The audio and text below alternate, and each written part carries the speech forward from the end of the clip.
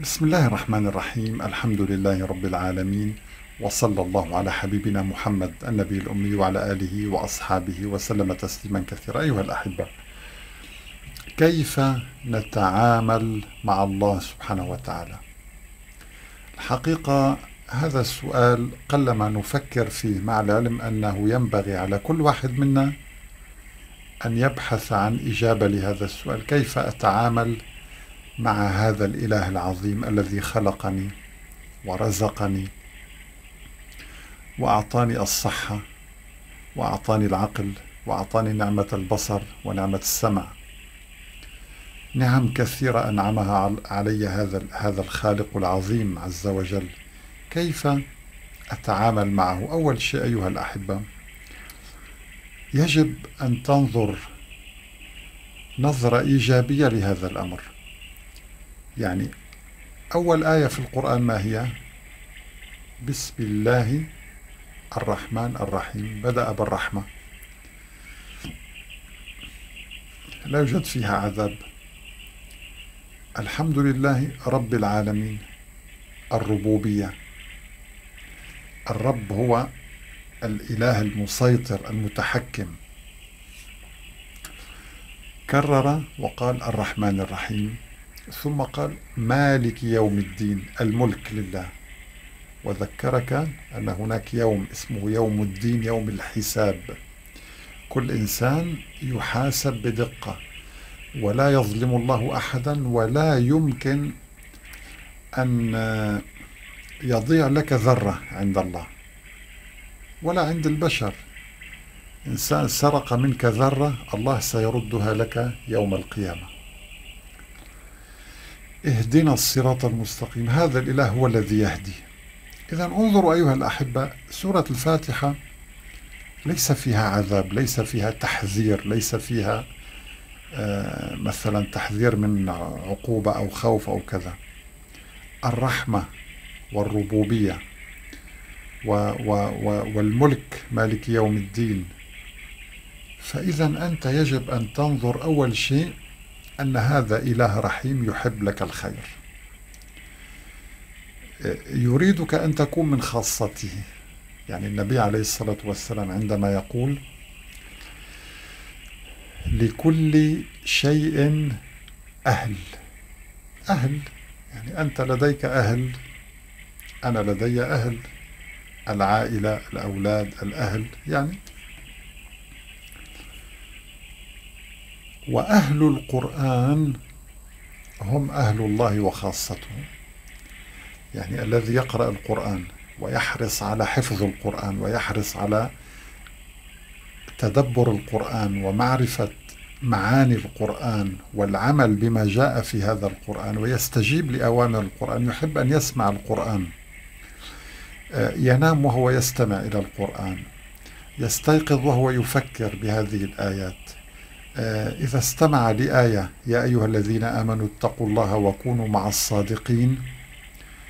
مباشرة ينتهي عن الكذب استجابة لأمر الله. إذا سمع آية قل للمؤمنين يغضوا من أبصارهم يغض بصره على الفور. يستجيب.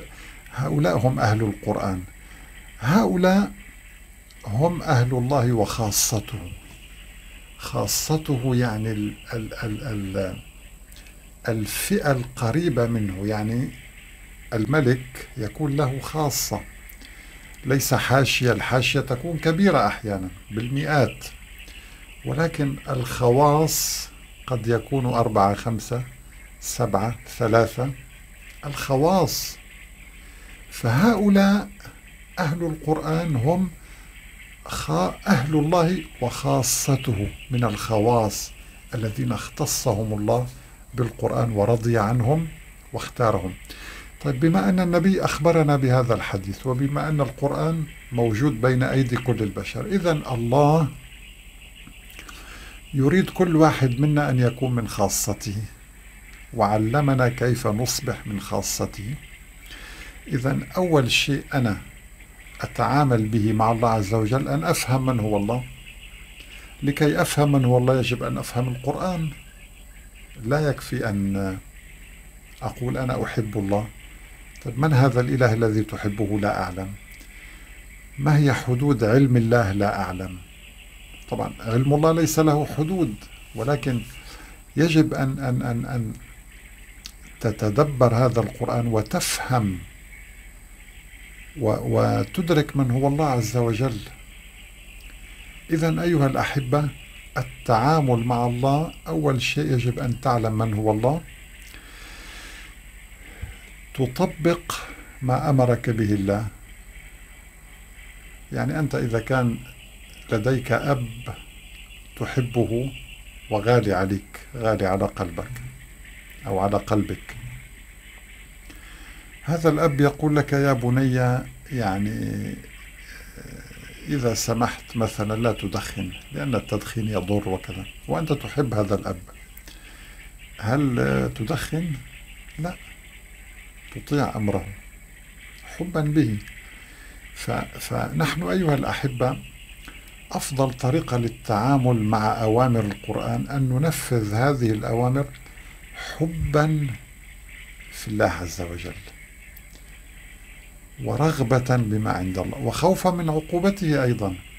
ولكن يجب أن تغلب عليك المحبة. يجب أن أن تبحث عن لقاء الله. يجب أن تكون حياتك كلها ملخصها كلمتين لقاء الله. تنتظر هذا اللقاء. طيب والإنسان عندما ينتظر لقاء الله يعني بعض الناس يقول لك أنا أخاف من الموت أخاف من لقاء الله أخاف من الآخرة أخاف كذا. طيب يا أخي الآخرة أفضل من الدنيا. بعد الموت لا يوجد خوف. انتهى الخوف. لا يوجد حزن. لا يوجد مرض. لا يوجد وباء. لا يوجد من من من تخاف منه أصلا أو من من يسيطر عليك. الملك فقط. أنت علاقتك مباشرة مع الله بعد الموت. الآن أنت تتعامل مع فلان وفلان وفلان. ولديك حاجة عند فلان وتحمل هم كيف تقضيها؟ ولديك هنا حاجة عند آخر ومشكلة مع فلان ومشكلة في بيتك ومشكلة. فأنت مضطر للتعامل مع كثير من الناس. ومعظم الناس يخذلونك. هذا واقعنا اليوم للأسف. ولكن بعد الموت هناك إله واحد تتعامل معه فقط. بعد الموت لا يوجد شيء اسمه خوف. هناك جنات تجري من تحتها الأنهار. أنت سوف ترى مقعدك من الجنة. ترى هذه ال... يعني ما لا عين رأت ولا أذن سمعت. ترى هذا النعيم. إذا لقاء الله شيء جيد. لماذا أكرهه؟ لماذا أخاف منه؟ فيجب أن تتقرب من الله وتظن وتعتقد أن الله قريب منك جدا أقرب إليك من نفسك. وأن هذا الإله يريدك أن تكون قريبا منه. يناديك ويقول لك تعال اقترب. من تقرب إلي شبرا تقربت إليه ذراعا. الحديث القدسي المشهور يعني أنت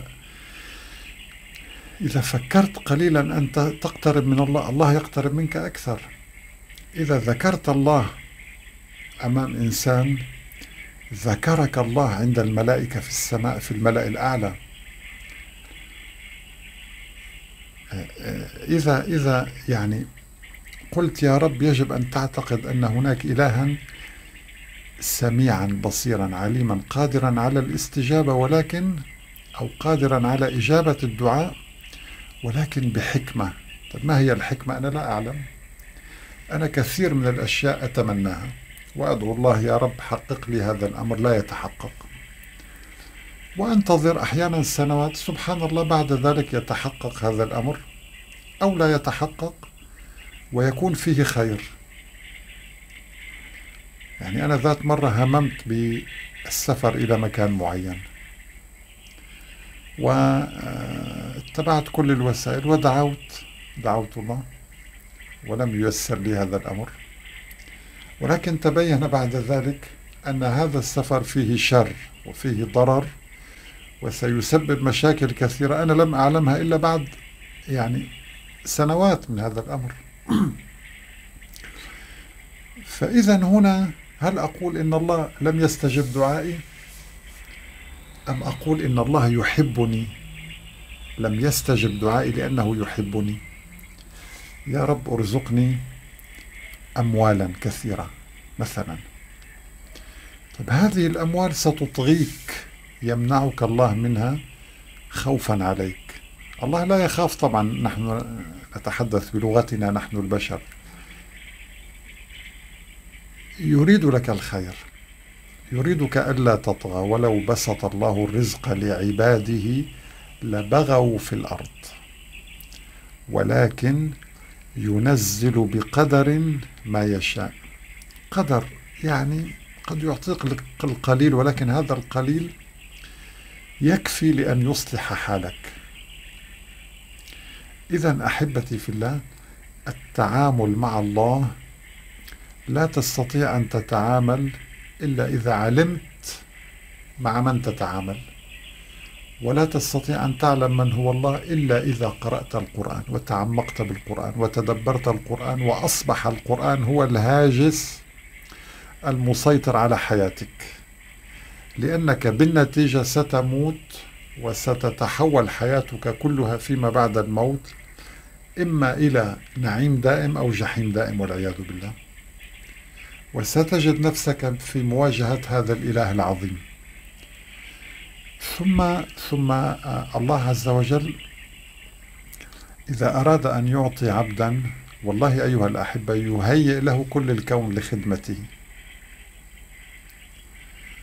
وإذا أراد أن أن يمنع عبدا لو اجتمع الكون كله لا يستطيع أن ينفع هذا الإنسان ولا بذرة. إذا أحبتي في الله باختصار القرآن هو طريقك إلى الله.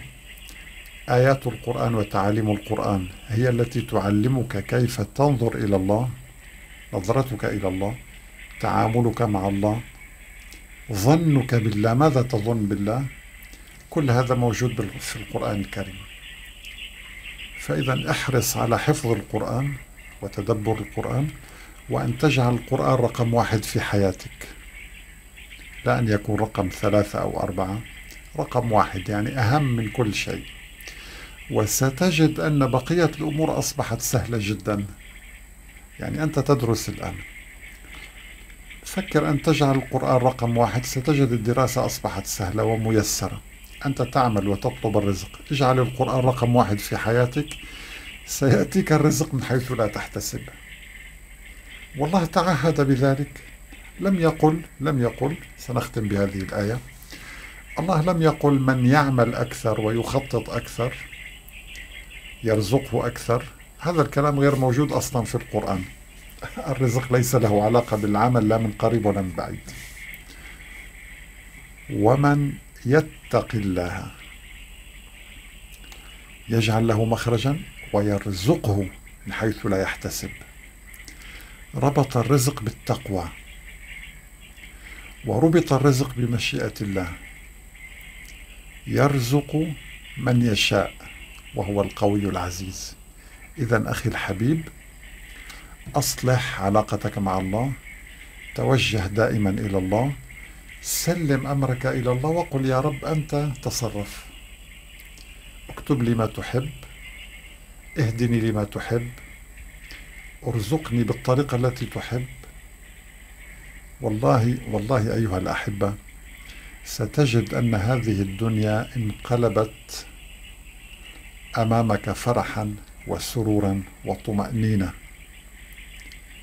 من عمل صالحا من ذكر أو أنثى وهو مؤمن فلنحيينه حياة طيبة ولنجزينهم أجرهم بأحسن ما كانوا يعملون. اللهم اجعلنا منهم جميعا. والسلام عليكم ورحمة الله تعالى وبركاته.